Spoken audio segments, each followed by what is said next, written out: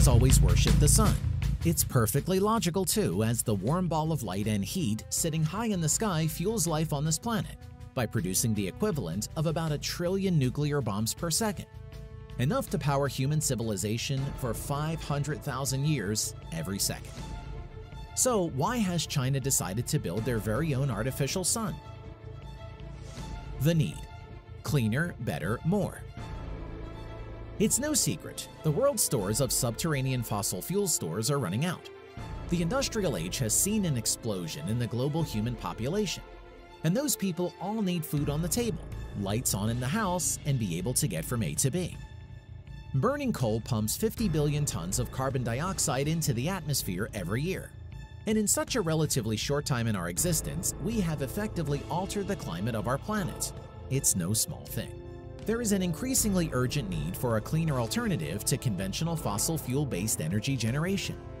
Wind, solar, geothermal, hydro, tidal all excellent methods to harness power from nature, but the yield just isn't there to replace current infrastructure and support the needs of the human race.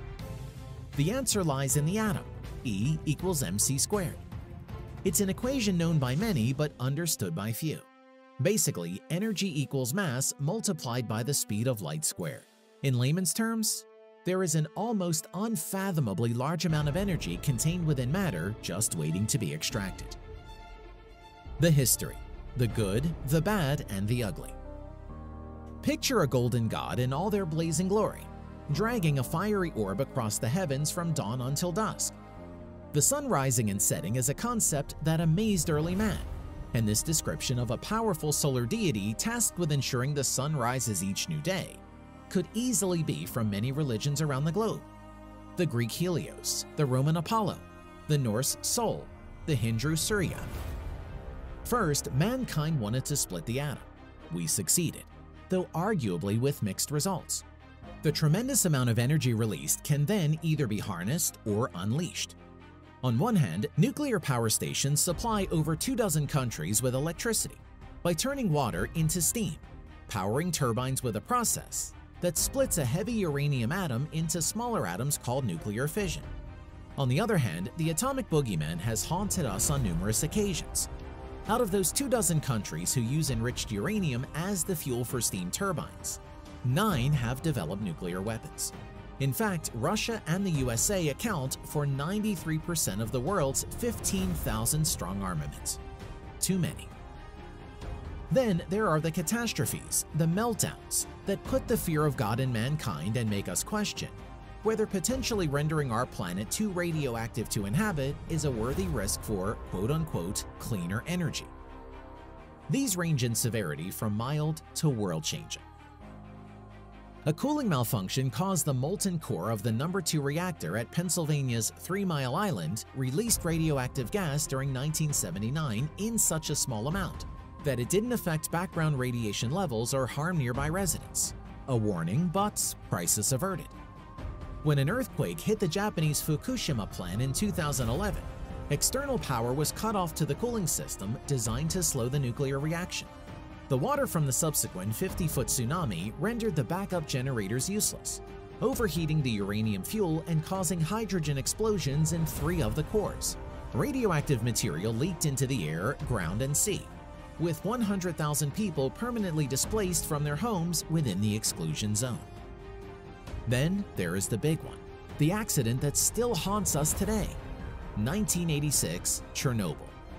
Arrogant hubris, human error, and an inherent design fault pushed the reactor to its absolute limits and well past the threshold of failure.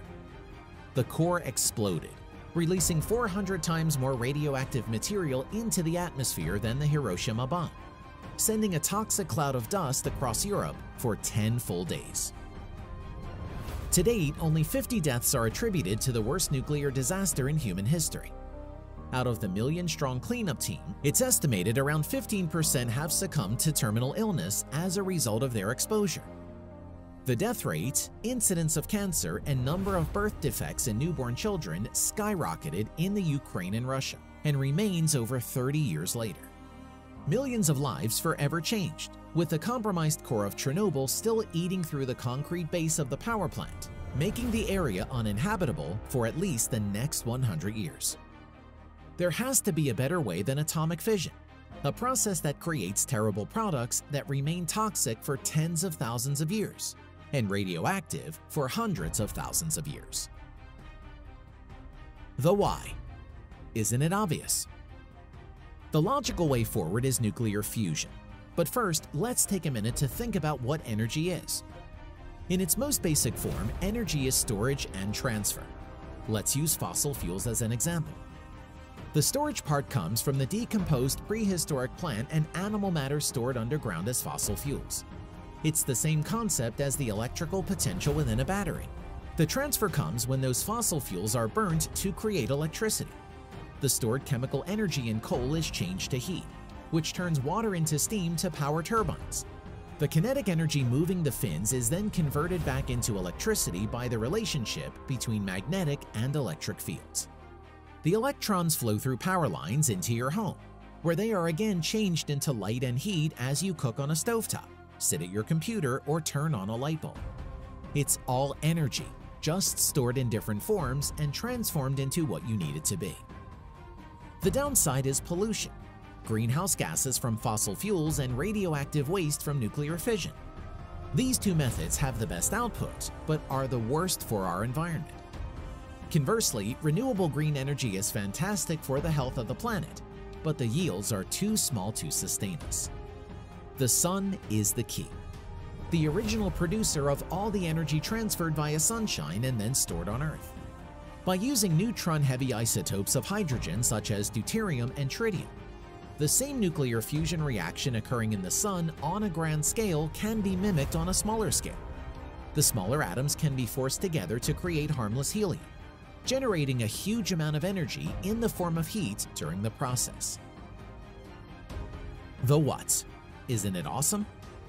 It's only been very recently that China have successfully powered up their fusion reactor, affectionately known as the artificial sun for the first time. This is huge. The HL2M tokamak reactor is currently the world's largest and most advanced device used for experimental nuclear fusion. Research that is crucial in unlocking both a powerful and clean-burning energy source for the future. Playing God has become possible by way of a powerful magnetic field used to fuse and contain the hot plasma, while withstanding temperature of up to 270 million degrees Fahrenheit. Not only could they house a mini sun in this field, but they could theoretically make a sun with a core 10 times hotter than our own. This plasma is an ionized gas that conducts electricity. Normally, the weak atomic force that prevents two atoms from combining into a larger atom is just too strong for fusion to occur naturally. The positively charged protons in each atomic nucleus repel each other in a similar way that you can't force the north poles of a magnet together. In order for the phenomenon to occur, you need two things high temperature, and high pressure. In order to get the hydrogen isotopes excited enough to overcome their electrical repulsion, they need to be heated to 170 million degrees Fahrenheit, where they enter this higher plasma state and lose their electrons. The Sun achieves this due to its large mass and huge gravity compressing the core mass. Here on Earth, we use microwaves, lasers, and ion particles to achieve the same temperatures. Next up is pressure. As previously stated, the Sun is huge, and its gravitational force is enough to squeeze the hydrogen together to form helium. This is the tricky part, as we need to use extremely powerful magnetic fields to contain and condense the plasma to act as the catalyst to initiate the fusion reaction. The Chinese plan to use this otherworldly device in collaboration with the International Thermonuclear Experimental Reactor currently being constructed in France, when it's completed in 2025, it will become the new king of nuclear fusion, the biggest and most powerful in the world. The future, best of both worlds. Currently, this reactor uses double neutron deuterium to triple neutron tritium fusion reaction. Deuterium to deuterium fusion requires much higher temperatures and is seen as the holy grail of nuclear fusion for a very simple reason.